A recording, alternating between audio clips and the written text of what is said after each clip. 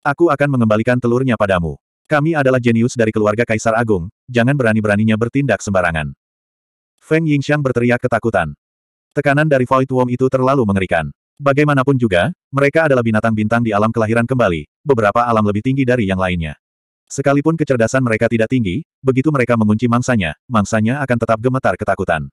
Keempat cacing kosong mengabaikan permintaan Feng Yingxiang dan menatap dingin ketiga orang dengan mata majemuk raksasa. Salah satu cacing kosong sepertinya yang paling marah. Ia perlahan membuka mulutnya, yang seperti jurang hitam pekat, dan kekuatan isap yang mengerikan tiba-tiba datang dari dalam. Kekuatan hisap yang mengerikan datang darinya, menyedot Feng Yingchen dan dua lainnya ke dalamnya. Tidak hanya itu, semua pasir dan batu di area tersebut juga berterbangan ke mulutnya, bahkan Ningki menjadi salah satu sasarannya. Tidak baik. Ningki tidak bisa menahan serangan cacing kosong kali ini dan tanpa sadar terangkat. Pikiran yang tak terhitung jumlahnya terlintas di benaknya saat dia memegang tablet Chow Yin di tangannya. Sayangnya, bahkan jika penguasa pavilion Chow Yin ada di sini, dia tidak akan menandingi cacing kosong itu.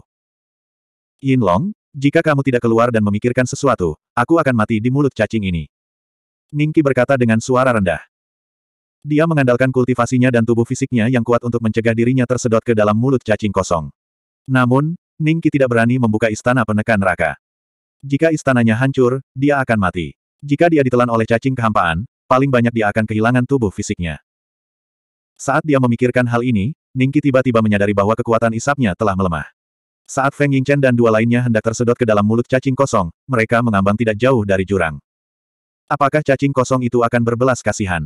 Atau apakah mereka diintimidasi oleh keluarga Kaisar Agung di belakang mereka? Mata Ningki berkedip. Saat berikutnya, dia tahu mengapa cacing kosong itu tidak menelan Feng Yingchen dan dua lainnya. Kekuatan hisap yang sangat berbeda dari sebelumnya tiba-tiba muncul. Bahkan Ningki bisa merasakan kekuatan khusus yang sepertinya telah menemukan hubungan dengan istana surgawi penekan neraka melalui tubuhnya. Itu menarik istana surgawi penekan neraka. Ia mencoba untuk membuatnya muncul. Mereka punya kemampuan seperti ini. Apakah ini kemampuan alami, atau apakah setiap makhluk di alam kelahiran kembali mengetahuinya? Ekspresi Ningki sedikit berubah. Namun, karena istana surgawi penekan neraka miliknya jauh lebih kuat dibandingkan istana lain di level yang sama, istana itu tidak ditarik keluar pada saat pertama. Feng Yingchen dan dua lainnya tidak seberuntung itu. Istana surgawi setinggi 3000 zang yang tampaknya telah mencapai peringkat kelima atau bahkan keenam muncul satu demi satu. Karena istana abadi Feng Yingchen adalah yang terkuat di antara ketiganya. Jika Qiu Changsheng, Old Demon Lin, dan para penggarap istana abadi lainnya yang telah dikalahkan oleh Feng Yingchen dibandingkan dengannya, dibutuhkan setidaknya lima hingga tujuh dari mereka untuk melawan Feng Yingchen. Sedihnya, ketiga favorit surga yang sombong itu kini pucat pasi saat mereka menatap cacing kosong itu dengan ketakutan. Sekarang istana abadi telah direbut, bagaimana mungkin mereka tidak mengetahui tujuan dari cacing kosong ini? Jelas bahwa dia ingin memusnahkan mereka semua tanpa meninggalkan waktu luang. Mengaum. Gelombang suara mengerikan yang hampir menembus gendang telinga terdengar. Kemudian, di istana peri Feng Yingchen dan dua lainnya, retakan halus mulai muncul secara bertahap. Apakah kita benar-benar akan mati di sini hari ini? Void Worms. Dasar bajingan. Jika kamu berani membunuh kami hari ini, maka kamu pasti akan mati dalam kematian yang menyedihkan di masa depan. Huh, Ningki menghela nafas dalam hatinya. Dari sudut pandangnya, bahkan jika Feng Yingchen dan dua orang lainnya tidak mati di mulut cacing kosong, mereka akan mati di tangannya. Tapi premisnya adalah mereka bertiga telah membawa bunga roh pemurnian. Sayangnya, sesuatu yang tidak terduga terjadi hari ini. Tidak hanya mereka bertiga akan mati di mulut cacing kosong, bahkan dia pun mungkin tidak akan bisa bertahan. Dia hanya bisa menunggu Feng Yingchen dan dua lainnya mati dan melihat apakah cacing kosong itu akan terus menyerang. Pada saat ini, Bayangan pedang raksasa tiba-tiba turun dari langit dan langsung memasuki kepala cacing kosong. Semua kekuatan hisap menghilang. Tubuh cacing hampa berangsur-angsur berubah warna setelah kepalanya tertusuk oleh bayangan pedang raksasa. Di saat yang sama, tubuhnya terus roboh. Dalam waktu kurang dari beberapa tarikan napas, tubuh besarnya terus terlipat dan menyusut. Akhirnya menjadi seukuran telapak tangan dan jatuh ke tanah. Di tanah, seperti kotoran kering, pecah menjadi beberapa bagian. Ini, Ningki melihat pemandangan ini dengan heran. Ketika dia sadar kembali, matanya menjadi sangat serius. Cacing kosong itu adalah bintang iblis di langkah keempat alam kelahiran kembali. Untuk bisa membunuhnya dengan mudah, kekuatan lawan mungkin sudah melampaui alam kelahiran kembali. Tiga cacing kosong lainnya merasakan ada sesuatu yang tidak beres, dan tanpa ragu-ragu, mereka berbalik dan melarikan diri. Adapun kematian rekan mereka, baiklah, biarlah. Cacing yang mati tidak bisa hidup kembali. Kehidupan mereka sendiri lebih penting. Jika kamu gagal dalam misi ini, kamu tidak akan bisa menjadi jenius peringkat ketiga. Selanjutnya, Aku secara pribadi akan mengambil tindakan, dan peringkatmu akan turun satu peringkat. Selanjutnya, kamu akan menjadi jenius peringkat pertama. Kamu akan dialokasikan jumlah uang dan sumber daya yang sama dengan jenius peringkat pertama. Cepat kembali ke klanmu. Terima hukumanmu. Bayangan pedang besar itu tiba-tiba memadat, berubah menjadi sosok yang wajahnya tidak terlihat jelas. Dia berdiri dengan tangan terlipat di belakang punggungnya, menatap Feng Yingchen dan dua lainnya. Saat dia mengumumkan putusan, wajah Feng Yingchen dan dua orang lainnya langsung berubah pucat. Tapi kali ini, mereka bisa mempertahankan hidup mereka. Namun, jika misinya gagal, biarlah. Setidaknya, telur-telur itu masih ada bersama mereka, dan masih bernilai sejumlah uang. Bayangan itu sepertinya melihat ke arah Ningki lagi, dan kemudian menghilang dengan keras. Brengsek. Jika saya gagal dalam misi ini, saya tidak hanya tidak bisa menjadi keajaiban tingkat tiga, tetapi saya juga akan diturunkan ke tingkat satu. Feng Yingxiang mengertakkan gigi, dan matanya dipenuhi amarah. Tidak masalah, misi untuk menjadi keajaiban tingkat dua jauh lebih mudah daripada misi keajaiban tingkat tiga. Dengan kita bertiga bekerja sama, tidak butuh waktu lama bagi kita untuk pulih. Meskipun ekspresi Feng Yingchen jelek, dia tetap membuka mulut untuk menghiburnya. Itu dia. Dia pasti telah memberikan kita, dan itulah mengapa kita dikelilingi oleh Void Worms. Awalnya kami sudah mengambil telurnya, jadi mengapa Void Worm mengetahui keberadaan kami? Itu pasti ada hubungannya dengan dia. Feng Yingxiang tiba-tiba menunjuk ke arah Ningqi, dan memfokuskan semua kemarahan yang tidak bisa dia curahkan pada Ningqi. Wajah Feng Yingchen dan Feng Yingwei juga menjadi sangat dingin, dan mereka menatap Ningqi. Apakah masalah ini ada hubungannya dengan Ningki atau tidak, mereka harus mencari alasan kegagalan mereka. Pada saat yang sama, Ningki telah melihat penampilan memalukan mereka hari ini, dan mustahil baginya untuk terus hidup. Jika tidak, itu akan merusak martabat keluarga Kaisar Agung. Apa, apa maksudmu dengan ini? Ningki berkata dengan sedikit terkejut. Apa maksudku, kamu tidak mengerti. Gunakan hidup Anda untuk mengkompensasi kerugian kami hari ini. Feng Yingxiang memandang Ningki dengan senyuman mengerikan. 3362 ini adalah istana abadi peringkat tiga teratas. Bagaimana Anda bisa memiliki istana abadi peringkat tiga teratas? Feng Yingxiang tercengang, matanya dipenuhi rasa tidak percaya. Sebelumnya, mereka bertiga telah menebak bahwa istana abadi Ningki berada di tiga tingkat terbawah, tetapi sekarang mereka tiba-tiba melihat istana abadi penekan neraka, mereka menyadari bahwa mereka telah sepenuhnya meremehkan para penggarap domain kumuh ini. Istana abadi pihak lain sebenarnya. Istana abadinya bahkan lebih tinggi dari istana mereka. Istana abadi yang sangat besar. Sudah berapa lama dia hidup, Feng Yingchen memandang Ningqi dengan kaget. Dia belum pernah melihat seorang kultivator di kesempurnaan agung dari alam permintaan Dao memadatkan istana abadi sedemikian rupa. Kita harus tahu bahwa setiap wilayah mempunyai hambatan, dan para penggarap istana abadi tidak terkecuali. Meskipun banyak orang bekerja sepanjang hidup mereka. Meskipun banyak orang menghabiskan seluruh hidup mereka, mereka bahkan tidak dapat mencapai hambatan tersebut. Tapi sebagai kebanggaan keluarga Kaisar Agung, mereka secara alami tahu di mana hambatan dari seorang penggarap Istana Abadi, dan Istana Abadi Penekan Neraka Ningki telah sepenuhnya melampaui hambatan ini. Mungkinkah orang ini adalah seorang penggarap alam karma yang menyamar? Feng Yingwei terkejut, dan langsung bereaksi. Wajahnya dipenuhi rasa malu dan marah. Dia benar-benar ditekan ke tanah oleh pria yang selama ini dianggap remeh hanya dengan tekanan dari Istana Abadi. Perasaan terhina muncul. Sepertinya orang yang mengawasimu benar-benar sudah pergi. Ningki melihat sekeliling dan langsung menghela nafas lega. Dia memandang ketiganya dan tersenyum. Siapa kamu? Apakah Anda juga merupakan kebanggaan keluarga kaisar yang hebat? Feng Yingchen perlahan berdiri dari tanah, matanya dipenuhi ketakutan saat dia melihat ke arah Ningki. Baru saja, karena kecerobohan sesaat, dia ditekan ke tanah oleh tekanan. Ketika dia bereaksi, meskipun tekanan Ningki sangat menakutkan, Feng Yingchen masih bisa menahannya. Feng Yingxiang dan Feng Yingwei juga berdiri perlahan. Selama proses ini, mata mereka tidak pernah lepas dari Ningki. Keluarga Kaisar Agung. Hahaha, saya hanyalah seorang tetua biasa di pavilion Chao Yin di daerah kumuh. Tidak bisakah kamu menerima bahwa kamu lebih lemah dari seorang tetua biasa di daerah kumuh? Ning Qi tersenyum. Biasa. Bahkan Feng Yingchen hampir tidak bisa menahan diri untuk tidak bersumpah. Jika istana abadi yang menakutkan itu biasa saja, lalu siapakah ketiganya? Apakah dia sampah? Tidak peduli siapa kamu, apakah kamu ingin memulai perang dengan klan Feng? Singkirkan istana abadimu dan biarkan kami pergi. Feng Yingchen berkata dengan dingin. Melanjutkan. Ning Qi tersenyum. Lanjutkan apa? Feng Yingchen sedikit terkejut. Teruslah bermimpi. Ditemani oleh ejekan Ning Qi, kekuatan mengerikan dari Istana Abadi langsung menekan mereka bertiga. Hari ini, Ning Qi ingin melawan mereka bertiga sendirian. Dia ingin membiarkan ketiga jenius arogan dari klan kaisar besar ini memahami arti, selalu ada seseorang yang lebih kuat di luar sana. Beraninya kamu. Kenapa aku tidak berani? Gelombang dahsyat menyapu ke segala arah. Beberapa kultivator Dao Kue Raying Rilem di kejauhan merasakan gelombang pertempuran yang datang dari kedalaman gunung Heaven World. Ekspresi mereka sedikit berubah. Setelah 10 menit, Feng Yingchen dan dua lainnya berlutut di tanah lagi. Mereka terluka parah dan tidak lagi memiliki kemampuan untuk menahan tekanan mengerikan dari istana penekan neraka. Sosok dalam kehampaan telah tertanam dalam di hati mereka. Bagaimana bisa ada seorang kultivator Dao Ying yang begitu sempurna dan menakutkan di dunia ini? Jangan bunuh kami. Kamu tidak bisa menghancurkan istana abadi kami dan tidak bisa membunuh kami sepenuhnya. Mengapa kita tidak membuat kesepakatan? Kami akan memberimu tiga juta batu esensi asal. Jika kamu melepaskan kami, kami berjanji tidak akan menemui masalah denganmu lagi. Feng Yingchen berkata dengan wajah pucat, jika Anda tidak setuju, bahkan jika Anda membunuh tubuh fisik kami, setelah kami membangun kembali tubuh fisik baru di Istana Abadi, kami akan membawa tetua klan kami untuk membunuh Anda. Keluarkan semua yang kamu miliki, serta harta karun yang dapat menahan Mystic Void Worm. Lalu, aku akan melepaskanmu. Ningki berkata dengan jelas. Ini. Mereka bertiga saling memandang memikirkan tentang bagaimana tubuh fisik mereka dihancurkan, bahkan jika mereka membangun kembali tubuh fisik mereka di masa depan, tingkat kultivasi mereka akan turun drastis. Setelah beberapa saat mempertimbangkan, mereka bertiga mengambil keputusan. Baiklah. Segera, tas spasial Ningki dipenuhi dengan puluhan juta batu esensi primordial dan telur cacing void. Dibandingkan dengan para penggarap rilem Dao Kueraying sempurna biasa, mereka bertiga cukup kaya. Selain itu, ada juga tiga harta spiritual bawaan kelas tiga. Dalam pertempuran sengit ini, ketiga harta karun roh semuanya memiliki bekas luka yang ditinggalkan oleh Ningki. Kamu mengandalkan ketiga benih ini untuk kebal terhadap kemampuan dewa bawaan cacing hampa. Ningki melirik mereka bertiga. Di tangannya tergeletak tiga biji berwarna-warni. Aura pada mereka sangat istimewa, dengan sedikit fluktuasi aneh. Ini adalah benih dari pohon dunia segudang. Ia tumbuh di reinkarnasi dunia segudang.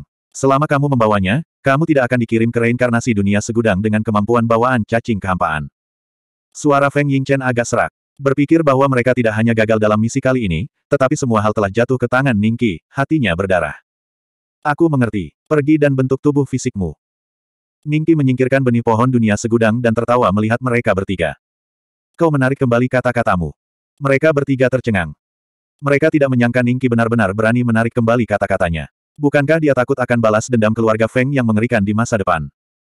Aku tidak memberimu janji apa pun. Bagaimana caramu menarik kembali kata-katamu? Ningki tersenyum nakal dan berkata, apakah kita menandatangani kontrak? Atau apakah saya membuat sumpah darah Dao Surgawi? Kamu, tidak tahu malu. Bang bang bang, beberapa hari kemudian, Ningki meninggalkan Heaven Realm Mountain sendirian dan terbang menuju Pavilion Yin. Setelah dia kembali ke Pavilion Yin dan bertemu dengan kultivator wanita bertopeng dan Master Pavilion Yin, dia, memberitahu, mereka kebenaran tentang bagaimana kelompok tiga orang Feng Yingchen dibunuh oleh cacing kehampaan. Dia menceritakan semuanya kepada mereka tanpa melewatkan satu kata pun. Mereka benar-benar mati. Suara kultivator wanita bertopeng itu tampak sedikit bergetar. Benar, Master Pavilion, target misi mereka adalah cacing kehampaan. Melawan keberadaan seperti itu, bahkan orang yang rendah hati ini tidak dapat berbuat apa-apa. Ningki memandang Master Pavilion Chow Yin yang diam dan berkata, dengan malu. Aku mengerti, kamu memang tidak bisa membantu. Kematian mereka tidak ada hubungannya denganmu. Master Pavilion Chow Yin mengangguk dan memandang ke arah kultivator wanita bertopeng, saudari magang senior, tahukah Anda bahwa target mereka adalah cacing kosong? Aku tidak. Suara kultivator wanita bertopeng itu agak serak. Karena kamu tidak mengetahuinya, keluarga Feng tidak akan menyalahkanmu atas hal ini. Kamu tidak perlu terlalu khawatir dan takut lagi. Masalah ini telah berakhir, kakak magang senior. Kata Master Pavilion Chow Yin dengan santai. 3363 Adik perempuan, bukan berarti kamu tidak mengetahui temperamen keluarga kaisar yang hebat. Jika aku tidak membawa anak ini ke sana, bagaimana kamu tahu bagaimana reaksi mereka? Kultivator perempuan bertopeng berkata dengan suara rendah. Hehe, menurutmu apakah dia punya kesempatan untuk hidup jika dia pergi ke keluarga Feng? Ketua Istana Chow Yin memandang ke arah kultivator wanita bertopeng itu dengan nada mengejek dan mencibir. Seorang penggarap Istana Abadi, apakah dia begitu penting bagimu?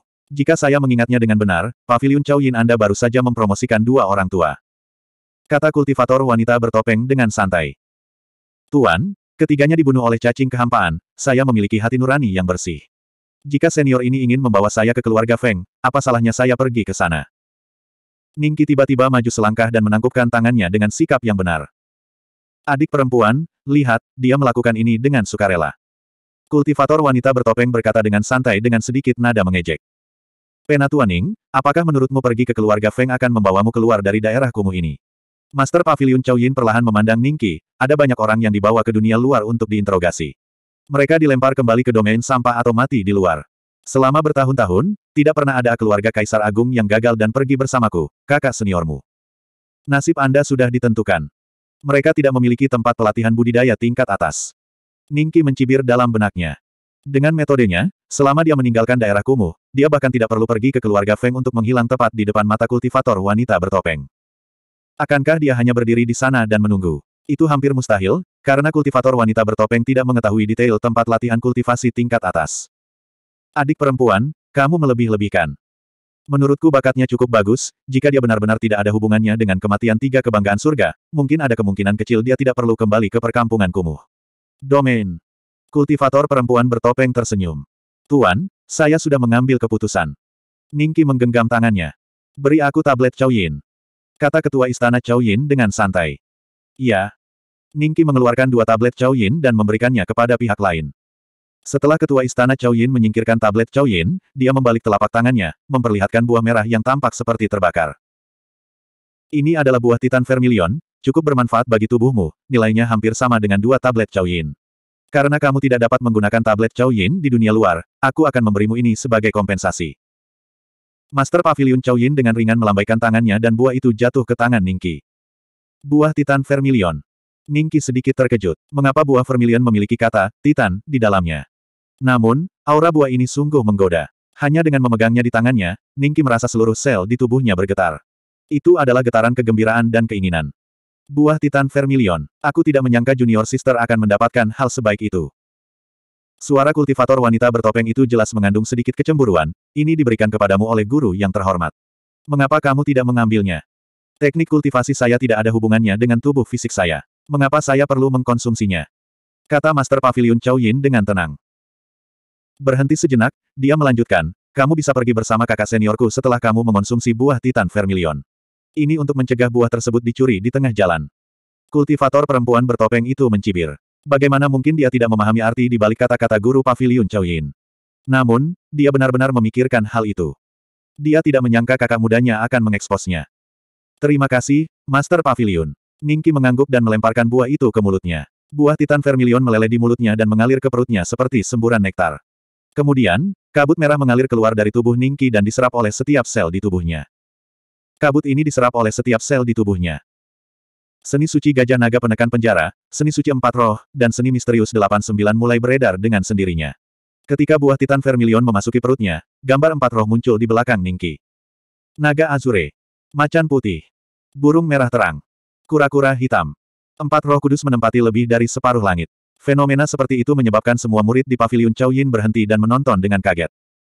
Itu dari sisi Master Pavilion. Mungkinkah Master Pavilion mendapat terobosan? Jika tidak, mengapa empat roh muncul? Tapi, mungkinkah Master Pavilion, anggota dari empat klan suci? Shock, kebingungan, dan kebingungan saling terkait satu sama lain. Seni suci empat roh. Anak ini sebenarnya memiliki seni suci empat roh. Meskipun ini hanya teknik budidaya dasar dari empat klan suci, ini tidak pernah diajarkan kepada orang luar. Itu sebabnya dia dipenjara di area Malang, kan?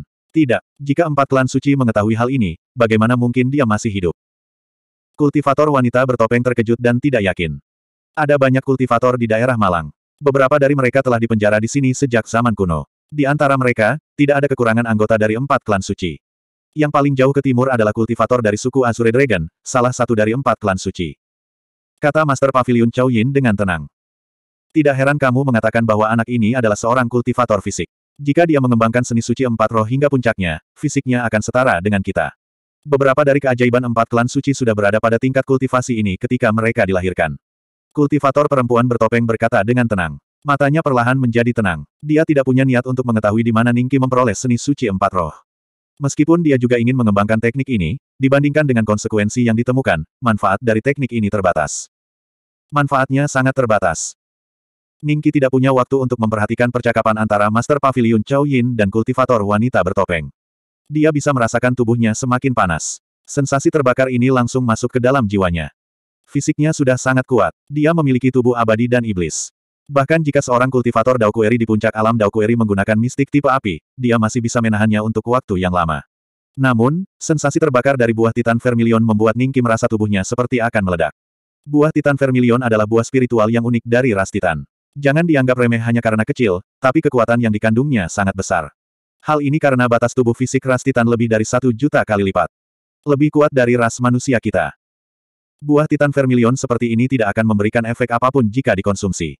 Paling-paling, ini akan meningkatkan budidaya mereka beberapa hari. Namun, jika manusia mengkonsumsinya, kecuali mereka dapat menahan kekuatan mengerikan ini, mereka akan terbakar sampai mati. Kata Master Pavilion Chow Yin dengan tenang. Tentu saja, jika kamu bisa menahannya, itu akan sangat bermanfaat bagi fisikmu juga. Setidaknya kamu akan naik level. Setelah mendengarkan penjelasan guru Pavilion Chow Yin, Ningki sekali lagi memusatkan perhatiannya pada tubuhnya sendiri. Dia bisa merasakan kekuatan fisiknya terus meningkat. Namun, pada saat yang sama, sel-selnya dihancurkan oleh kekuatan yang sangat kuat ini. Kehancuran, generasi, dan kehancuran lagi. Siklus ini berulang. Ding! Selamat kepada tuan rumah karena berhasil maju ke tingkat ketiga seni suci empat roh. Notifikasi sistem tiba-tiba terdengar. Seni suci empat roh Ningki telah maju ke tingkat ketiga. Tanpa penundaan, notifikasi kedua berbunyi. 3364. Terima kasih, Master Pavilion. Ningki menangkupkan tangannya lagi dan mengungkapkan rasa terima kasihnya. Buah Titan Vermilion telah memberinya terlalu banyak manfaat. Seni suci empat roh pada awalnya sangat sulit untuk dikembangkan, tetapi dengan bantuan buah Titan Vermilion, ia berhasil menembus ke tahap ketiga. Seni suci gajah naga yang mengurung juga berhasil menembus kemacetannya dan melaju ke tahap ke-67. Ningki telah melangkah ke tahap akhir dari seni suci gajah naga yang membatasi. Manfaatnya adalah kekuatan fisiknya meningkat lebih dari 10 kali lipat. Setelah membuka sembilan gerbang tersembunyi dalam, kekuatannya akan mencapai tingkat yang sangat menakutkan. Ningki merasa jika dia menyerang dengan seluruh kekuatannya, dia bahkan akan mampu bersaing dengan master batas karma awal. Adapun apakah dia sedang membayangkan sesuatu atau tidak, dia harus menunggu sampai dia memiliki kesempatan untuk melawan ahli tahap utama alam karma di masa depan untuk mengetahuinya.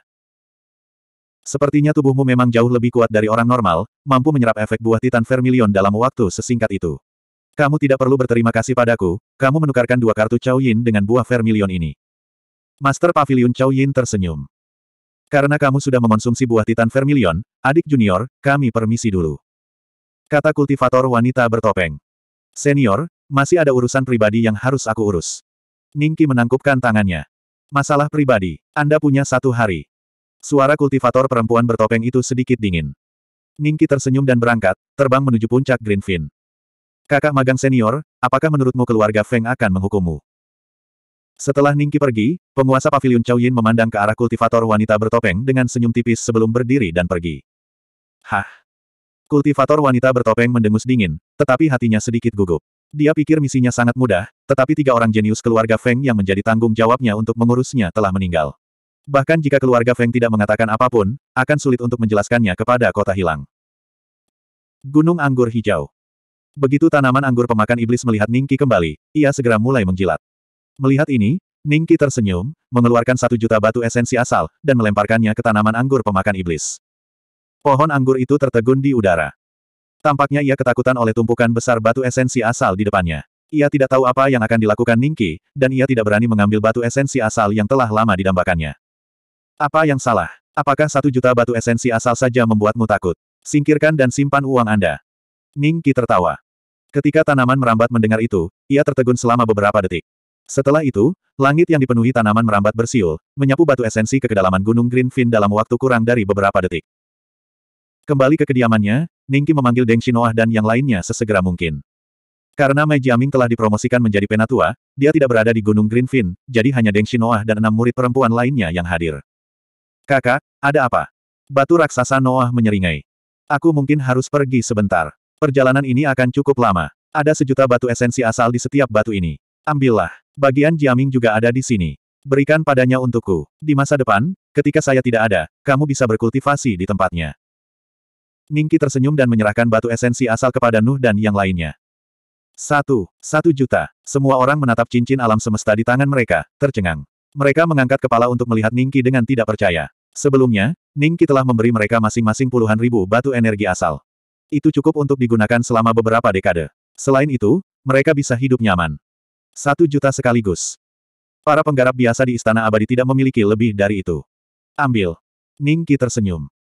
Dia telah memperoleh lebih dari 20 juta batu esensi asal dari Feng Yingchen dan yang lainnya. Tabungannya tidak berkurang sama sekali sejak datang ke tanah tertinggal para dewa kali ini. Sebaliknya, jumlahnya meningkat cukup banyak. Kakak, apakah kamu akan pergi ke suatu tempat yang sangat jauh? Deng Shinoa kembali sadar dan bertanya dengan sedikit khawatir. Iya, itu cukup jauh. Ingatlah untuk berhati-hati terhadap Qiyu Changsheng dan putranya. Ningki menginstruksikan. Setelah meninggalkan Gunung Greenfin, Ningki pergi mencari Dongyan. Puncak gunungnya tidak jauh dari Gunung Greenfin. Elder Ning, Anda orang yang sangat sibuk. Bagaimana Anda punya waktu untuk berkunjung hari ini? Setelah menerima pemberitahuan itu, tetua Dongyan keluar untuk menerimanya sambil tersenyum dan menggodanya. Ningki tersenyum dan menceritakan semuanya padanya. Sepotong keterkejutan melintas di mata Dongyan setelah dia mendengarnya. Setelah itu, dia berkata dengan tegas, Elder Ning, sebaiknya kamu lari sekarang, atau kamu dapat meminta Master Pavilion untuk turun tangan.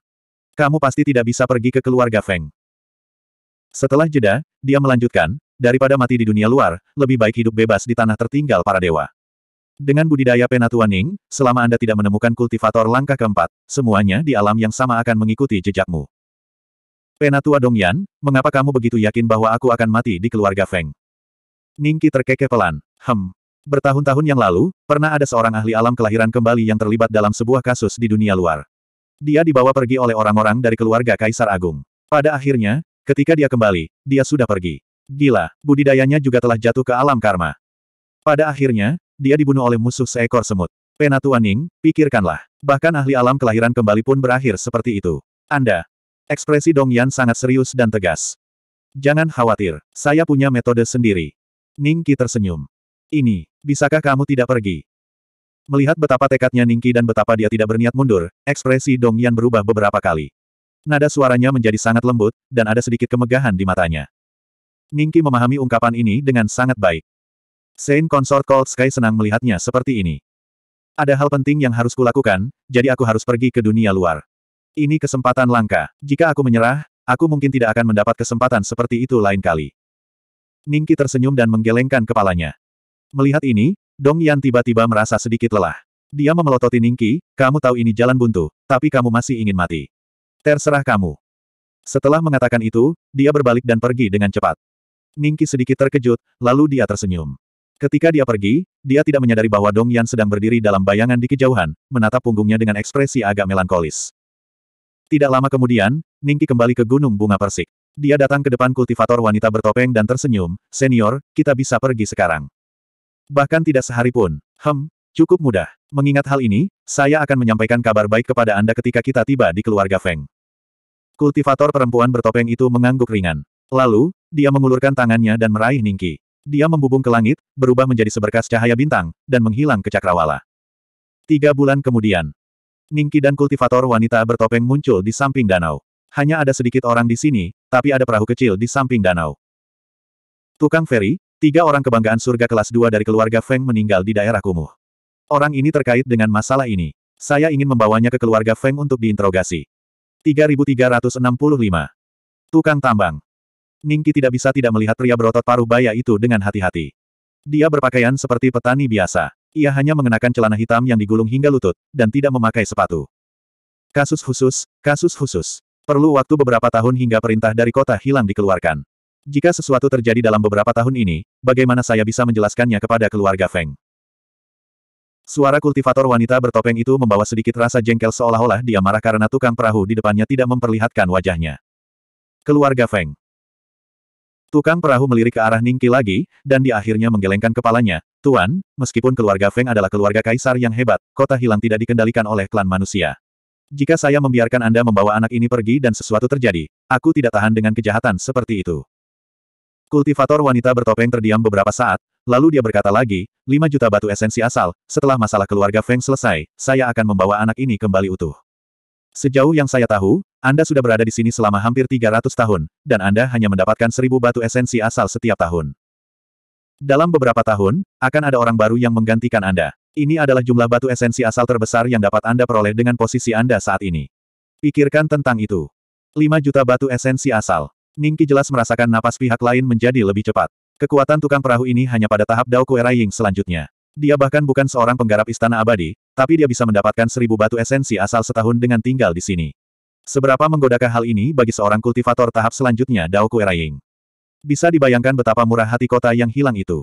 Tapi sekarang, kultivator wanita bertopeng telah langsung meminta 5 juta batu esensi asal dan hanya akan membawa Ningki pergi.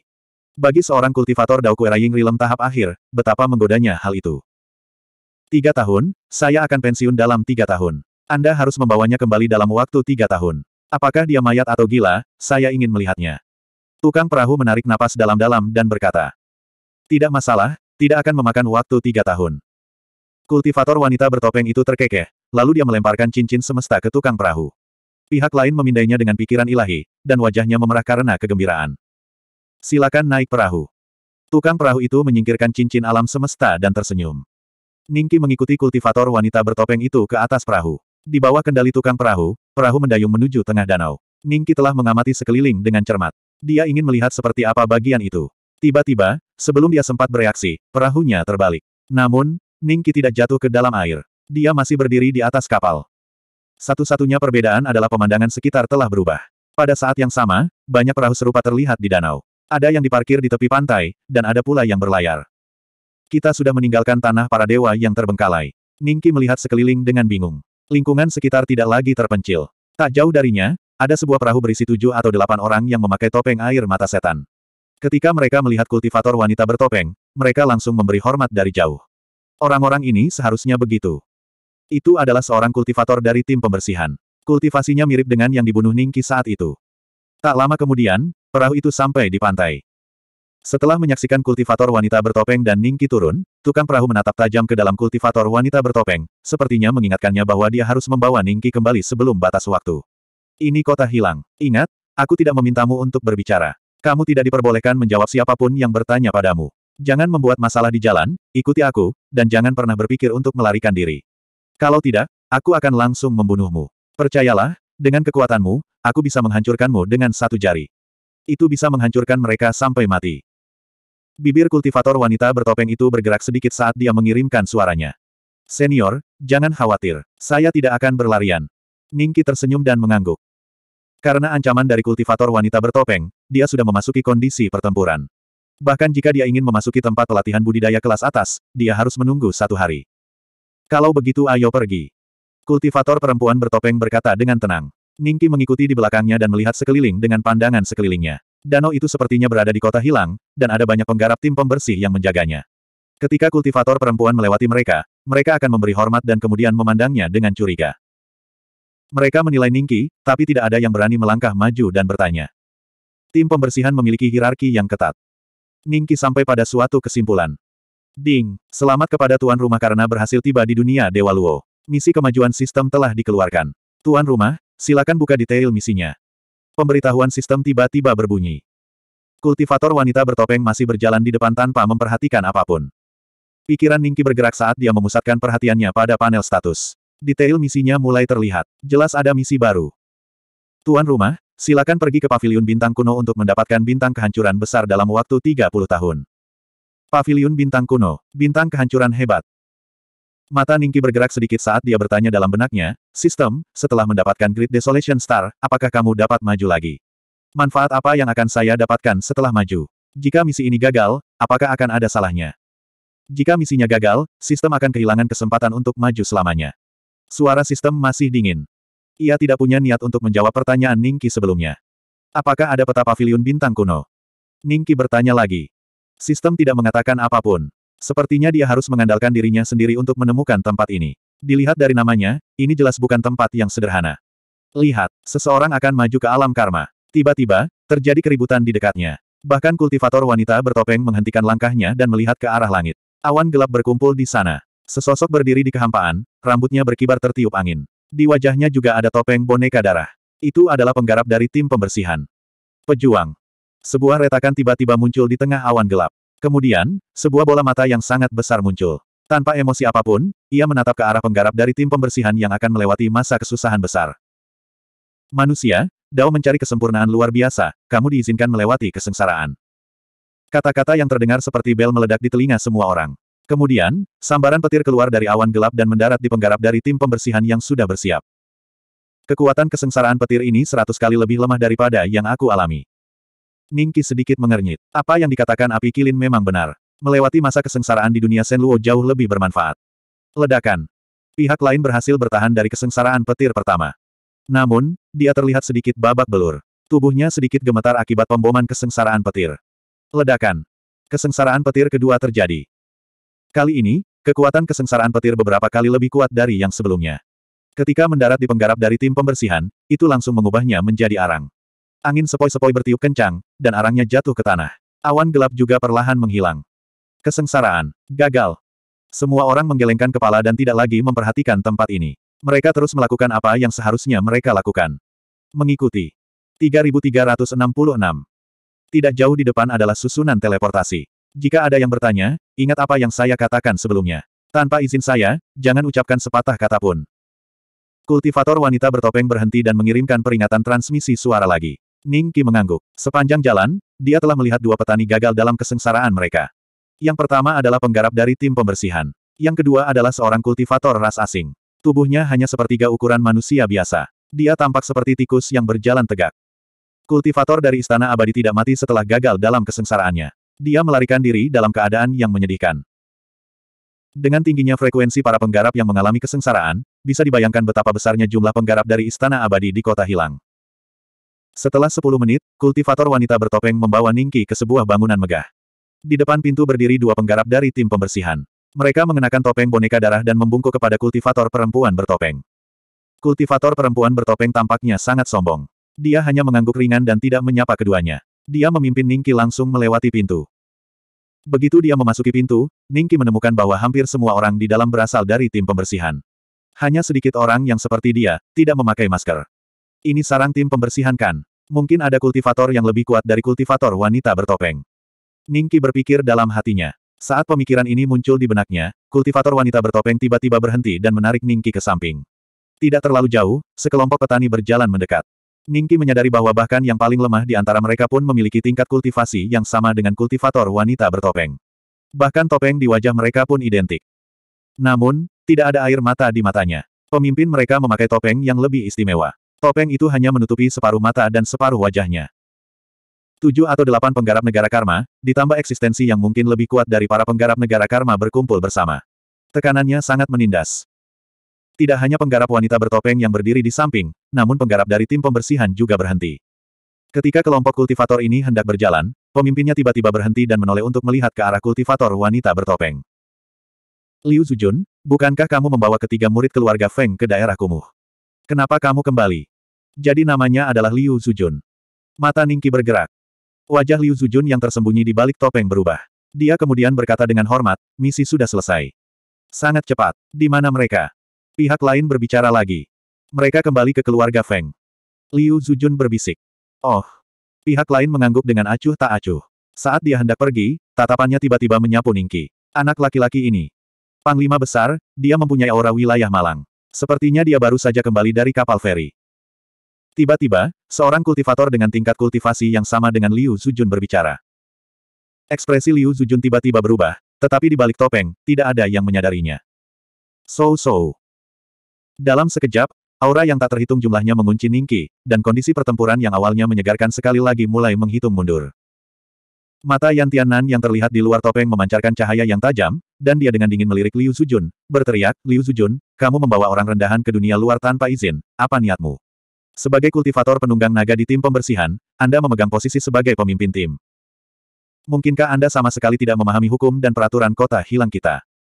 Anak ini sebenarnya adalah seorang kultivator dari daerah kumuh. Seharusnya benar, Kapten Gongsun adalah di Ling Haun, hidungnya sangat sensitif. Meskipun Anda berada ribuan mil jauhnya, dia masih bisa mencium aroma Anda dan menemukan Anda. Kapten Liu, mengapa Anda membawa orang rendahan keluar tanpa izin? Kejahatan ini sangat berat. Komandan Yan, Meskipun anak ini adalah seorang kultivator dari daerah kumuh, dia ada hubungannya dengan masalah penting keluarga Feng. Saya akan membawanya ke keluarga Feng untuk diinterogasi, dan dalam beberapa hari, saya secara pribadi akan mengantarnya kembali. Ke daerah kumuh. Liu Zujun menjelaskan. Keluarga Feng. Hehe, bercanda sekali, kamu ingin menggunakan keluarga Kaisar Agung ras manusiamu untuk menindasku. Yan Tian tiba-tiba tertawa terbahak-bahak.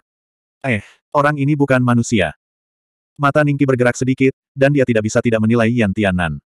Pihak lain kebetulan melihat ke arah Ningki, dan langsung berteriak dengan marah, ras manusia rendahan, apa yang kamu lihat? Ningki sedikit terkejut, saya melihat seekor anjing menggonggong, saya ingin melihatnya dengan jelas. Semua orang menghirup udara dingin, dan memandang Ningki dengan tercengang. Orang rendahan ini sebenarnya berani memprovokasi komandan tim bersih-bersih. Kita harus tahu bahwa setiap komandan setidaknya berada pada tahap awal keadaan amanat surga, dan jauh lebih kuat daripada keadaan karma normal. Pada tahap ini, mereka telah terbebas dari karma, dan tidak dibatasi oleh karma. Nasib mereka dianugerahkan oleh surga, dan mereka sungguh mulia. Liu Zujun terkejut, lalu segera mengambil langkah ke depan, dan memblokir di depan Ningqi. Berdasarkan pemahamannya tentang Yan Tiannan, jika dia mengatakan ini, dia pasti akan membunuh Ningqi apa pun konsekuensinya. Jika Ningqi meninggal, ketiga keajaiban keluarga Feng juga akan mati. Daerah kumuh, semua tanggung jawab ada di tangannya, dan dia tidak akan tahu kapan dia akan mati tanpa bisa dijelaskan. Seperti yang diharapkan. Mencari kematian. Yan Tiannan mendengus dingin, dan aura menakutkan langsung menyapu Ningqi. Dia masih tidak peduli dengan Liu Zujun yang menghalangi di depan Ningqi. Saat Ningqi sedang menghitung apakah dia harus mengorbankan monumen sungai gunung untuk menyelamatkan hidupnya, sebuah tawa tiba-tiba terdengar. Segera setelah itu, serangan Yan Tiannan dibubarkan oleh kekuatan misterius, dan menghilang tanpa jejak. Sesosok muncul di depan Liu Zujun. Melihat ini, mata Liu Zujun berbinar gembira, dan dia membungkuk, Zujun menyapa komandan. Orang yang datang sama dengan Yan Tiannan, memakai masker setengah wajah. Dia juga tidak peduli dengan Liu Zujun, tapi menatap Yan Tiannan dan tersenyum, Komandan Yan, apa yang membuatmu begitu marah hingga tidak ragu membunuh rekanmu sendiri? Apakah kapten saya menyinggung perasaan Anda? Lu Yan, kamu benar-benar datang pada waktu yang tepat. Mata Yan Tiannan berkilat ketakutan. Dia kemudian menatap Ningki dan berkata dengan dingin, Kaptenmu mengabaikan hukum dan peraturan, dan membawa orang rendahan dari daerah rendahan ke dunia luar. Bukankah normal bagiku untuk menghukumnya? Mendengar ini, Lu Yan melirik Ningqi, lalu menatap Liu Zujun, dan berkata sambil tersenyum, Komandan yang telah salah paham. Ini adalah ideku. Dengan statusku, bukankah normal untuk membawa orang biasa keluar untuk diinterogasi? Anda. Yan Tiannan melihat pihak lain sengaja menirunya, dan sangat marah. Zujun, kenapa kamu tidak melakukan apa yang seharusnya kamu lakukan? Untuk apa kamu berdiri di sini, membiarkan Komandan Yan melihat ini, itu hanya akan membuatnya kesal. Lu Yan melanjutkan. Ya, Komandan. Liu Zujun membungkuk hormat, lalu menatap Ningki dengan dingin, dan berkata dengan dingin, ayo pergi. Gong Sun, ingatlah aura anak itu. Jika dia lolos di masa depan, maka kejahatan ini akan ditanggung oleh Komandan Lu. Yan Tiannan berkata dengan dingin. Komandan, saya sudah mengingatnya. Kapten Gong Sun menangkupkan tangannya dan berkata. 3367. Di depan susunan teleportasi, Liu Zujun tidak terburu-buru masuk, tetapi berdiri di tempat dan menunggu. Tidak lama kemudian, Yan berjalan perlahan, memandang Ningqi, lalu memandang Liu Zujun, dan berkata dengan lemah, apa yang terjadi? Liu Zujun tersenyum pahit dan mentransmisikan suaranya, Panglima Besar, tiga keajaiban kelas dua dari klan Feng yang menjadi tanggung jawab saya semuanya telah mati di Gunung Alam Surga. Anak ini melihat apa yang terjadi, saya hanya bisa membawanya keluar dari wilayah celaka dan pergi ke klan Feng untuk memperjelasnya. Jika tidak, keluarga Feng akan memikirkan hal ini di kepalaku. Mereka semua sudah mati. Itu hanya misi untuk maju ke Heavens Prodigy kelas 3, bagaimana mereka semua bisa mati. Keajaiban keluarga Feng manakah yang tidak memiliki kartu as? Seberapa banyak yang Anda ketahui tentang tujuan misi mereka kali ini? LV Yan sedikit terkejut, dan matanya juga menunjukkan sedikit kesungguhan. Meskipun mereka bekerja di kota hilang dan tidak berada di bawah yurisdiksi keluarga Feng, keluarga Feng bagaimanapun juga adalah keluarga kaisar yang hebat dalam umat manusia. Selama itu adalah ras manusia, mereka harus memberi mereka wajah. Oleh karena itu, selama keluarga Feng atau keluarga kaisar besar lainnya mengirimkan anak ajaib ke wilayah tercela untuk melakukan misi, mereka akan bertanggung jawab untuk menjaga mereka. Mereka datang ke wilayah celaka untuk melakukan misi dan bertanggung jawab merawat para penggarap ras manusia di tim pembersihan. Mereka tidak pernah menyebutkannya. Saya sudah bertanya, tapi mereka tidak mengatakan apa-apa. Liu Zujun menggelengkan kepalanya.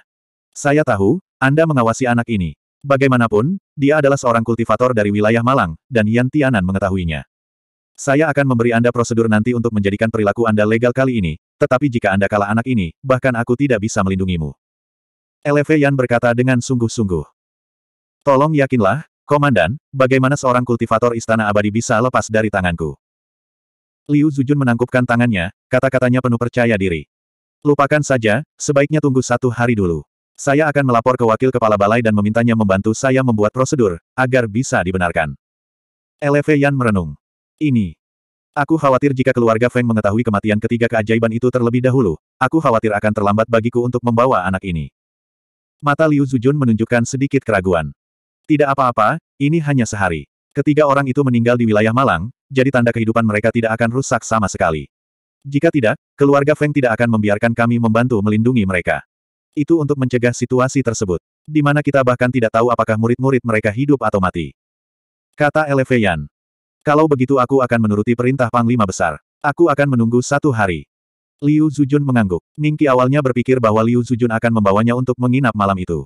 Namun, mereka menghabiskan sepanjang hari berdiri di depan teleportasi array. Para kultivator yang bertugas menjaga array teleportasi melirik mereka dari waktu ke waktu. Sampai hari kedua. Baru saat itulah dia muncul kembali. Sudah selesai. Sekarang setelah kamu membawanya keluar dari kota Malang, itu sudah sah dan sesuai dengan aturan. Namun, wakil penguasa istana berkata bahwa kamu harus membawanya kembali dalam waktu satu tahun. Umat manusia kita sudah masuk kemunduran di kota hilang, dan jika seseorang menggunakan ini untuk melawan kita, wakil pemimpin istana pasti akan dihukum. Tuhan juga sedang tidak bersenang-senang. LV Yan tersenyum dan berkata. Dipahami. Liu Zujun mengangguk dan menghela napas lega. Ingat, jika kamu berani berpikir untuk melarikan diri, aku akan memberitahumu apa artinya menjalani hidup yang lebih buruk daripada kematian. Liu Zujun memandang Ningki dan memperingatkannya lagi. Aku tidak akan lari. Ningki berkata dengan ekspresi tulus. Liu Zujun mendengus dan memimpin Ningki ke dalam formasi teleportasi. Para kultivator yang menjaga formasi teleportasi dengan cepat bertanya, Pemimpin Liu, kita akan pergi ke mana? Wilayah Phoenix. Liu Zujun berkata dengan ringan. Iya. Liu Zujun dan Ningki menghilang dari formasi transmisi. LV Yan memperhatikan mereka pergi dan kemudian berbalik untuk pergi. Di sisi lain, di area yang sangat jauh dari kota hilang, salah satu susunan transmisi tiba-tiba meletus dengan semburan cahaya putih. Segera setelah itu, dua sosok muncul satu demi satu. Namun, sebelum salah satu sosok itu sempat bereaksi, sosok lainnya muncul lagi. Kali ini menghilang. Di mana dia? Liu Zujun menatap dengan heran pada formasi teleportasi yang kosong. Ekspresinya berubah beberapa kali sebelum akhirnya berubah pucat. Di saat yang sama, matanya dipenuhi kebingungan yang mendalam. Dia jelas melihat Ningki berteleportasi dengan matanya sendiri, tapi, saat mereka muncul, mengapa sosok Ningki menghilang lagi? Bahkan dia, seorang kultivator karma tahap awal, tidak dapat menemukan bagaimana Ningki menghilang. Mungkinkah ada masalah dengan susunan teleportasi? Senior, apakah kamu sudah selesai menggunakan susunan teleportasi? Masih ada orang yang menunggu untuk menggunakannya di luar. Sebuah suara datang dari luar formasi teleportasi. Enyahlah. Ekspresi Liu Zujun sangat dingin, tetapi orang-orang di luar tidak dapat melihatnya dengan jelas karena topengnya. Beberapa kultivator yang dengan cemas menggunakan susunan teleportasi ingin memarahinya, tetapi ketika mereka melihat topeng di wajahnya, mereka menelan kembali kata-kata mereka. Pergi. Mustahil. Aku tidak bisa menemukannya dengan Divine Sense-ku. Tidak ada jejaknya sama sekali. Bahkan jika dia berada di level yang sama denganku, dia tidak akan bisa tersesat di hadapanku. Mungkinkah itu seorang kultivator langkah kelima? Liu Zujun mencoba yang terbaik untuk menenangkan dirinya dan akhirnya menghilangkan pikiran konyol ini. Dia baru saja membawa Ningki keluar dari wilayah rendahan, bagaimana mungkin seorang kultivator langkah kelima mengetahui hal ini? Terlebih lagi, bagaimana mungkin seorang kultivator istana abadi bisa mengizinkannya masuk ke peringkat pertama? Seorang kultivator langkah kelima secara pribadi datang membantu. Portal teleportasi harus dihancurkan. Dia mungkin telah kembali ke kota hilang. Memikirkan hal ini, Liu Zujun menjadi tenang dan berteriak kepada orang-orang di luar, kota yang hilang, kirim saya kembali, cepat. Iya. Meskipun kultivator yang bertugas menjaga susunan teleportasi bukan berasal dari kota hilang dan merupakan murid dari kekuatan besar lainnya, karena kekuatan ini bekerja sama dengan kota hilang, dia secara alami tidak berani menyinggung pemimpin tim dari kota yang bersih. Tim. Liu Zujun sekali lagi dikirim kembali ke tempat dia datang. Beberapa napas kemudian, Liu Zujun kembali ke susunan teleportasi aslinya. Luyan belum pergi jauh, tetapi ketika dia mendengar para penggarap tim pembersihan meneriakkan tiga kata, Kapten Liu, karena terkejut, dia berbalik lagi. Tidak di sini. Bagaimana mungkin? Dengan suara deras, wajah di balik topeng menjadi sangat pucat, dan mata Liu Zujun dipenuhi kepanikan. Dia benar-benar kehilangan orang rendahan tepat di depan hidungnya. Liu Zujun, apa yang terjadi? Di mana orang rendahan itu? Mata Luyan menjadi dingin saat dia berteriak dengan suara yang dalam. Panglima besar, aku. Liu Zujun tidak bisa melanjutkan. Dia tiba-tiba teringat ekspresi tulus Ningki yang mengatakan dia tidak akan pernah melarikan diri, seolah dia sedang mengejeknya. Cepat, kirim kami berdua ke wilayah Phoenix. Lu Yan sepertinya sudah menebak sesuatu. Dengan ekspresi muram, dia dengan cepat masuk ke dalam susunan teleportasi dan berteriak kepada para murid di luar. Cahaya putih menyala. Lu Yan dan Liu Zujun sekali lagi muncul di susunan teleportasi. Kesadaran ilahi Luyan langsung menyebar seperti air mengalir, tetapi dia masih tidak dapat menemukan aura Ningki. Katakan padaku, di mana dia? Luyan memandang Liu Zujun dengan ekspresi yang sangat serius. 3368. Kamu tidak tahu. Anda, seorang penggarap tahap utama alam karma, benar-benar membuat seorang penggarap istana abadi menghilang tanpa jejak di bawah mata Anda. Anda mengatakan kepada saya bahwa Anda tidak tahu. Ekspresi Luyan menjadi sangat jelek. Liu Zujun merasa malu dan marah. Dia sudah menyesal membawa Ningki pergi dari wilayah tercela. Jika dia tahu ini akan terjadi, dia akan langsung membunuhnya dan membawa kepalanya ke keluarga Feng. Aku akan membiarkan kapten lain memimpin orang untuk mencari di area ini.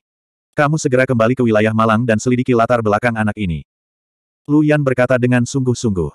Iya, Komandan Agung. Liu Zujun mengangguk. Saat dia hendak pergi, dia mendengar Lu Yan berkata dengan lemah, kita hanya punya waktu tiga bulan. Dengan keributan seperti itu, para pemimpin ras asing itu cepat atau lambat akan mengetahuinya.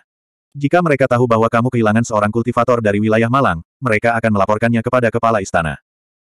Di depan mereka, bahkan wakil ketua istana dan aku tidak bisa melindungimu. Bahkan aku akan terlibat.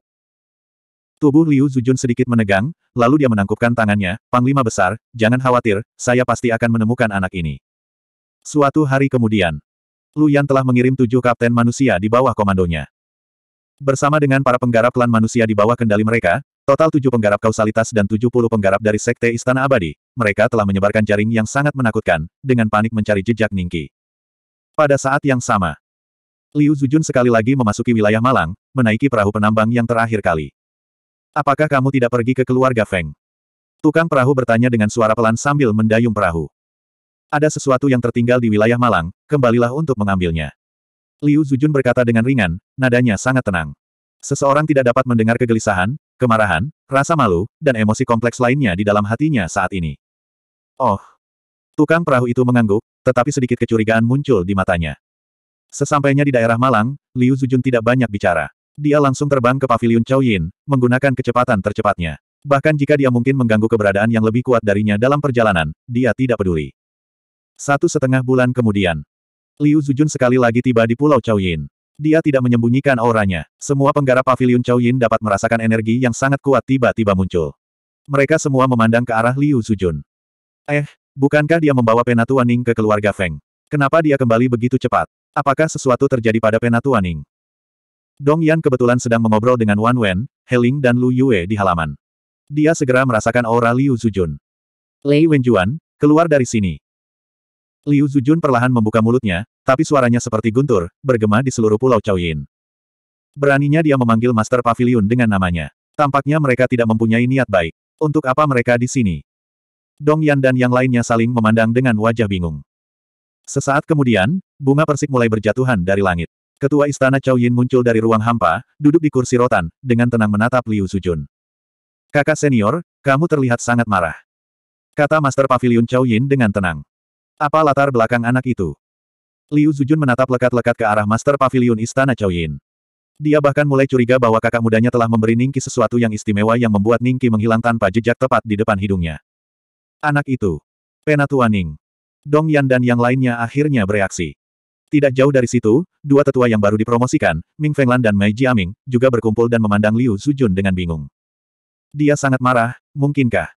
Ketidakpercayaan melintas di mata Dong Yan. Dia buru-buru menatap Liu Zujun, berharap bisa memastikan tebakannya dari mulutnya. Latar belakang. Ketua Pavilion Istana Chow Yin sedikit terkejut. Kemudian, tatapannya tiba-tiba menjadi lebih dalam. Bibirnya sedikit melengkung, kakak senior, apakah kamu kehilangan dia? Seorang penggarap istana abadi bisa menghilang tanpa jejak tepat di depan hidungku. Adik junior, apakah kamu benar-benar tidak punya sesuatu untuk dikatakan kepadaku? Suara Liu Zujun sangat dingin. Sudah kuduga, orang ini benar-benar hebat. Sudah berapa tahun sejak seseorang berhasil melarikan diri dari tim pembersihmu? Saya tidak berharap dia melakukannya. Pantas saja dia bersedia mengikutimu ke keluarga Feng. Kakak senior, saat Anda berkomplot melawan dia, dia juga berkomplot melawan Anda. Ketua Pavilion Istana Chow Yin tertawa. Penatuaning benar-benar lolos. Dong Yan terkejut dan senang. Dia terkejut karena hal seperti itu memang terjadi seperti yang dikatakan oleh Ketua Pavilion Istana Chow Yin. Hal itu tidak terjadi selama bertahun-tahun. Bahkan ahli negara kelahiran kembali tidak bisa lepas dari pengawalan tim pembersih. Dia senang karena Ningki tidak pergi ke keluarga Feng dan melarikan diri dari pengawalan Liu Zujun. Itu setara dengan tidak berada dalam bahaya. Selalu ada kesempatan untuk bertemu di masa depan. Dong Yan, kamu bisa yakin sekarang. Wan Wen melirik Dong Yan dan mengirimkan suaranya sambil tersenyum. Dong Yan mengangguk sedikit dengan ekspresi khawatir di wajahnya, tetapi tim pembersih tidak akan membiarkan Penatua Ning pergi. Dia bisa melarikan diri untuk saat ini, tapi dia tidak bisa melarikan diri selamanya. Wan Wen terkejut, lalu mentransmisikan suaranya, saya pikir cara Penatua Ning tidak sederhana. Mungkin dia benar-benar bisa lolos dari pencarian tim pembersih. Setelah jeda, dia melanjutkan, alasan mengapa kakak senior Master Pavilion datang ke sini mungkin karena mereka tidak dapat menemukan keberadaan Penatua Ning sama sekali. Mendengar ini, mata Dong Yan langsung melonjak karena kegembiraan. Adik junior, sekarang bukan waktunya untuk mengejekku. Aku kehilangan dia, jadi aku akan bertanggung jawab atas kejahatan ini. Sekarang, aku ingin kamu memberitahuku, apakah kamu membantunya melarikan diri dari para penggarap tim pembersih. Jika ya, aku khawatir kamu harus ikut denganku. Ke kota yang hilang. Liu Zujun berkata dengan dingin. Lelucon yang luar biasa. Keluarga Feng kehilangan tiga kebanggaan surga, dan kamu ingin mengambil tetua pavilion Chao Yin milikku sebagai kambing hitam. Sekarang setelah kamu kehilangan dia, kamu ingin menggunakan aku sebagai kambing hitam. Kakak senior, Anda benar-benar punya rencana bagus. Di antara semua murid guru, saya merasa Anda mempunyai peluang sukses tertinggi. Anda memiliki peluang sukses tertinggi karena Anda lebih kejam dari orang lain. Master Pavilion Chao Yin tidak bisa menahan tawa. Sepertinya kamu tidak berencana memberitahuku. Liu Zujun berkata dengan acuh tak acuh, sejak kamu dilempar ke domain sampah ini, kakak senior sudah lama tidak bertengkar denganmu. Ayo bertarung hari ini.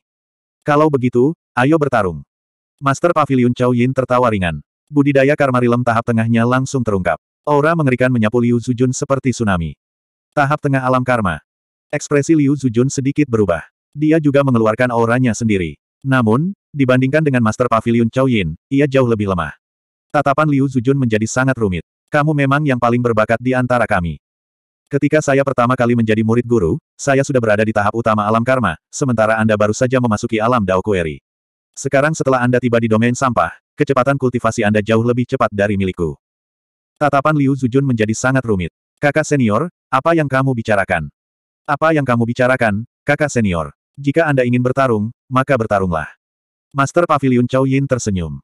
3369. Master Pavilion Chao Yin menyaksikan Liu Zujun pergi dengan cibiran di wajahnya. Setelah dia benar-benar pergi, dia terkekeh dan berkata kepada Wan Wen dan yang lainnya di bawah, jika Anda melihat keberadaan Penatuaning di masa depan, ingatlah untuk segera melapor kepada saya. Ya, Master Pavilion. Wan Wen dan yang lainnya saling berpandangan, lalu menjawab serempak. Jangan khawatir, Aku tidak akan mengkhianati tetuaku sendiri. Namun, ini mungkin kesempatan bagi kita untuk meninggalkan daerah kumuh. Jawab Master Pavilion Chao Yin sebelum pergi.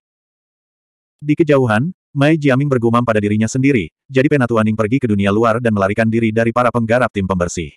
Tidak heran dia memberi saya sejuta batu esensi asal beberapa waktu lalu. Satu juta. Ming Fenglan memandang Mai Jiaming, tercengang. Wan Wen memberinya seratus ribu batu esensi asal untuk promosinya menjadi lebih tua, yang membuatnya merasa sangat kaya. Mai Jiaming benar-benar mendapat sejuta batu esensi asal. Aku sangat iri padamu. Ming Fenglan berkata dengan iri.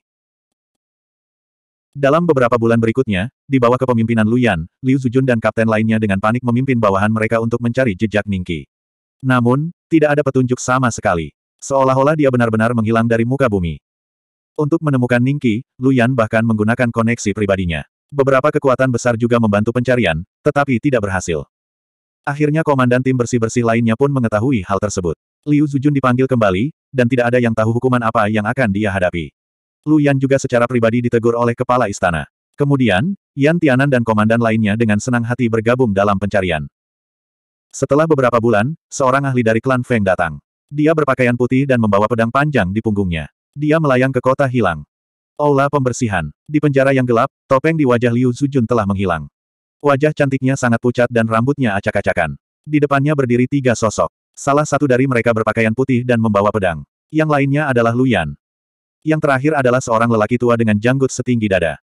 Pendosa Liu Zujun menyapa wakil kepala istana Sentu dan panglima besar.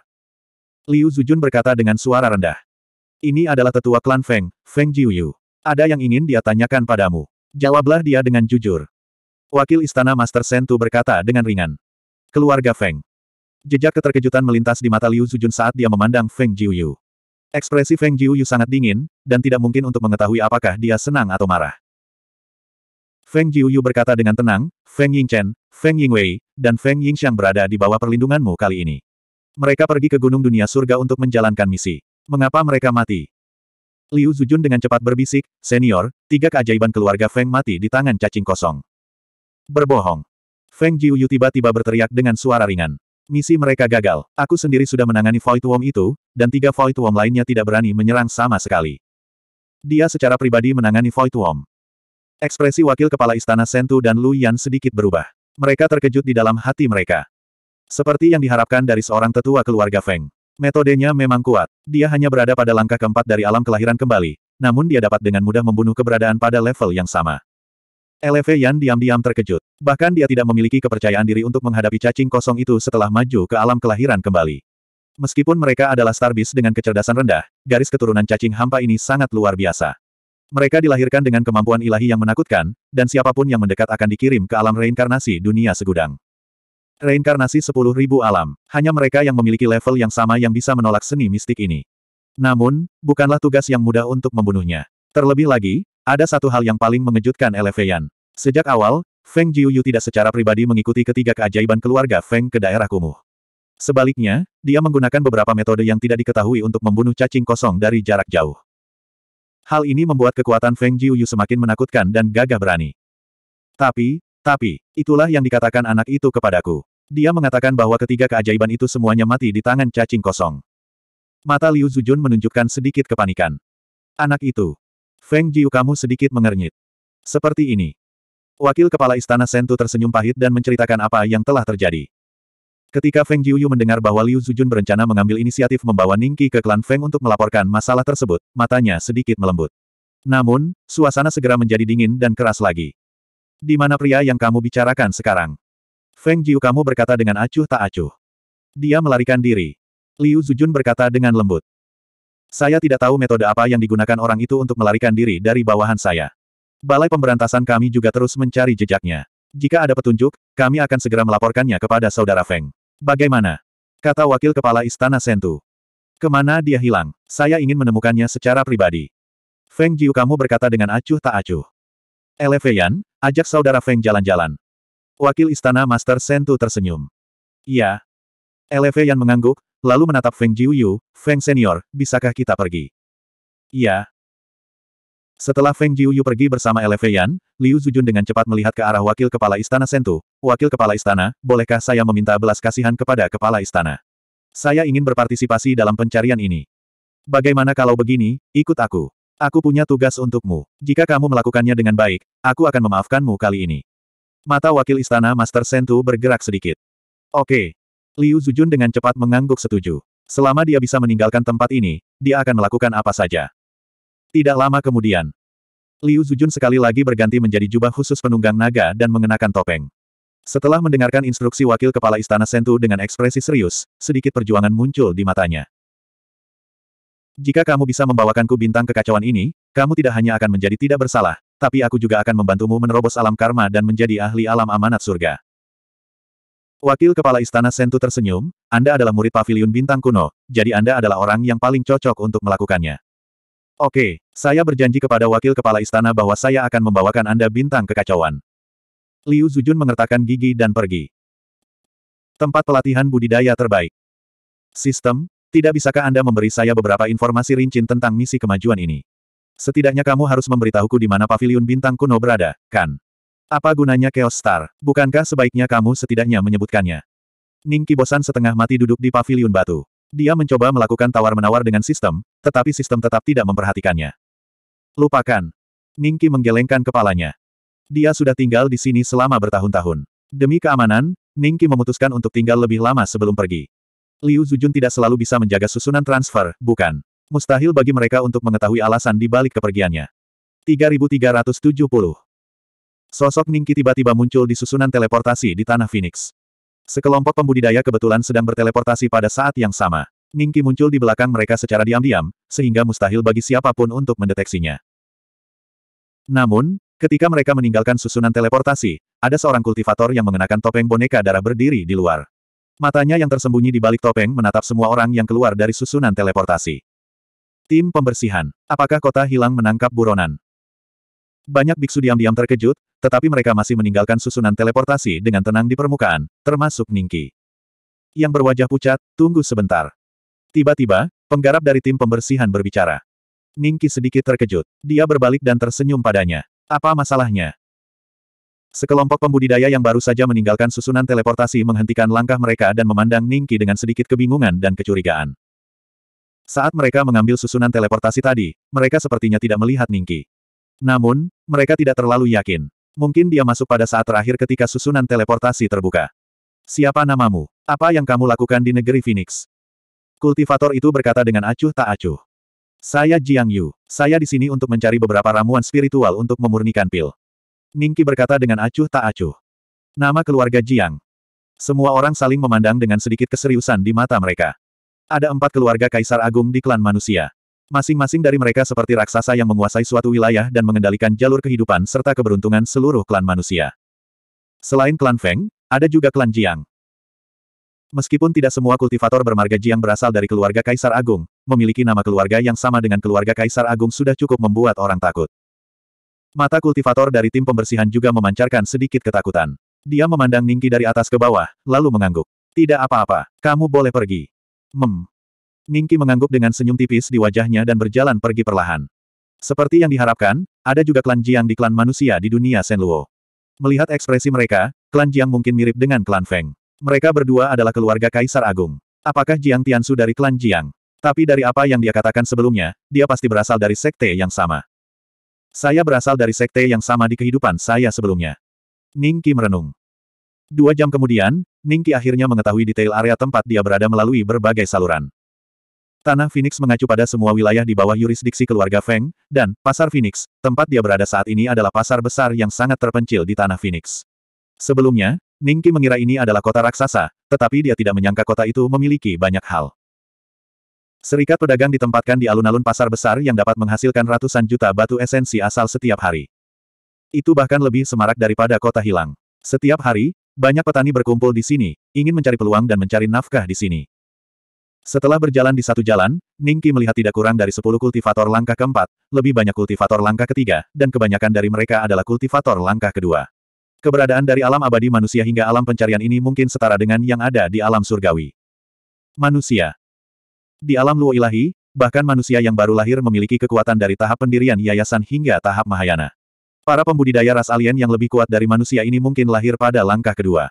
Saya ingin tahu apakah ada ras yang lahir di tahap kedua. Lahir di langkah ketiga atau langkah keempat. Ningki berpikir sambil berjalan melewati berbagai kios. Dia juga melihat beberapa penggarap dari tim pembersih, tetapi Ningki terlihat sangat tenang dan tidak berencana meninggalkan pasar Phoenix. Dia ingin menggunakan kegelapan untuk mengulur waktu dan langsung membeli di pasar Phoenix. Bunga roh pemurnian, senior, kamu terlihat asing, dan sering berkeliaran di berbagai kios. Apa yang ingin kamu beli? Saya Lin Mei, penduduk asli pasar Phoenix, dan saya tahu banyak tentang tempat ini. Jika senior bersedia menghabiskan dua batu esensi asal, saya dapat memimpin senior selama tujuh hari ke depan. Saya akan melakukan yang terbaik untuk memimpin. Seorang kultivator wanita yang telah lama mengamati Ningki tiba-tiba berjalan di depan Ningki dan berkata dengan berani. Kultivator wanita ini hanyalah Tai Perfected Immortal, yang hampir merupakan level terendah di pasar Phoenix. Ningki telah memperhatikannya sejak lama, tapi dia ingin melihat apa yang wanita ini rencanakan. Dia tidak menyangka dia ada di sini untuk membelikan bisnis untuknya. Berapa banyak yang kamu ketahui tentang pasar Phoenix? Dua batu esensi asal bukanlah jumlah yang kecil. Apakah hanya bernilai dua batu untuk memimpin? Ningki tersenyum tipis. Ketika Lin Mei mendengar ini, dia sangat senang. Selama pihak lain tidak segera mengusirnya, itu berarti masih ada harapan untuk bisnis ini. Dia menoleh dan melirik Ningki, memberi isyarat dengan suara rendah, Senior, apakah kamu melihat kios itu? Pemilik kios adalah salah satu bandit terkenal di pasar Phoenix. Dia didukung oleh sekte pembantaian darah dan sering menjarah para petani di mana-mana. Barang-barang yang dia jual semuanya adalah barang haram. Jika Anda menyentuhnya, itu akan dengan mudah memicu balas dendam. Di saat yang sama, orang ini juga pengkhianat. Jika dia melihat orang-orang murah hati, dia akan diam-diam mengikuti mereka. Dia akan merampok dan membunuh mereka. Dan orang di sana itu, dia didukung oleh kekuatan besar dari tim pembersih kota hilang. Jika Anda menyinggung perasaannya, Anda mungkin akan ditangkap dan dipenjarakan di penjara kota hilang dalam beberapa hari. Yang di sana.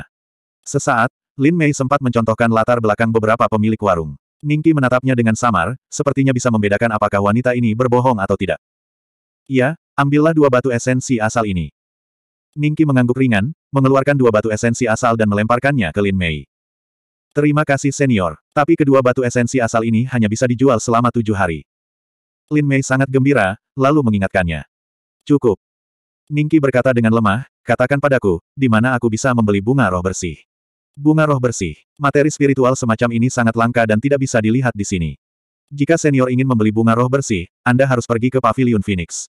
Itu adalah kamar dagang yang dibuka oleh keluarga Feng. Itu peringkat pertama di pasar Phoenix. Sekalipun saat ini tidak ada bunga jiwa bersih, jika senior bersedia mengeluarkan banyak uang, keluarga Feng juga akan mendapatkan bunga jiwa bersih untuk senior. Lin Mei berbisik. Memimpin. Ningki berkata dengan lemah. Iya, tidak lama kemudian, Lin Mei membawa Ningki berhenti di depan sebuah gedung yang sangat ramai. Bangunan ini tampak seperti pusat perbelanjaan di bumi. Bagian dalamnya sangat ramai dan memiliki sembilan lantai. Setiap lantai menempati area yang sangat luas. Di depan konter yang tak terhitung jumlahnya, ada banyak kultivator. Di depan konter yang tak terhitung jumlahnya, ada banyak kultivator. Senior, lantai pertama hingga ketiga pavilion Chow Phoenix menjual pil obat, lantai 4 hingga 6 menjual harta sihir, lantai 7 menjual berbagai bahan roh alkimia, lantai 8 menjual artefak bahan roh penempaan, dan lantai 9 menjual budidaya teknik. Apakah menurut Anda kita harus pergi ke lantai 7 untuk mencarinya? Ayo pergi ke lantai 7 untuk menemukannya. Kata Lin Mei. Semuanya baik-baik saja. Ningki mengangguk pelan dan berhenti, berapa banyak yang kamu ketahui tentang harga bunga roh bersih? Dalam 10 tahun terakhir, 5 bunga roh bersih telah muncul di pasar Phoenix.